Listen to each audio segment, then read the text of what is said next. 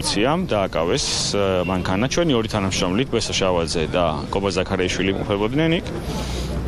და გაურკვეველი მიზეზით გადაიყვანეს როგორც გვეუბნებიან კახეთის გზატკეცილზე მდებარე შინაგან საქმეთა სამინისტროს ადმინისტრაციულ შენობაში. ესეთი ტიპის მოქმედებებით ცდილობენ რომ ხელი შეგვიშალონ რასაც ვერ მიაღწევენ. აქცია მაინც ჩატარდება და მოუწოდებ პოლიციას, რომ კანონი დაიცვას და ნუ ემორჩილება ივანიშვილის რაღაც მითითებებს. პოლიციამ პირდაპირ გაიტაცა საპატრულო პოლიციამ ჩვენი სატვირთოც და ჩვენი თანამშრომლების და მათზე არაფერი ვიცით.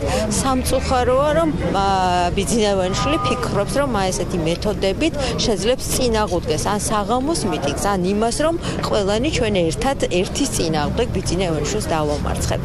მე ძალიან დიდი მწუხარებით მინდა აღვნიშნო, რომ ჩვენი პოლიცია ვისაც ახსოვს გადავიდა მღებრიშვილის საუკეთესო ტრადიციებში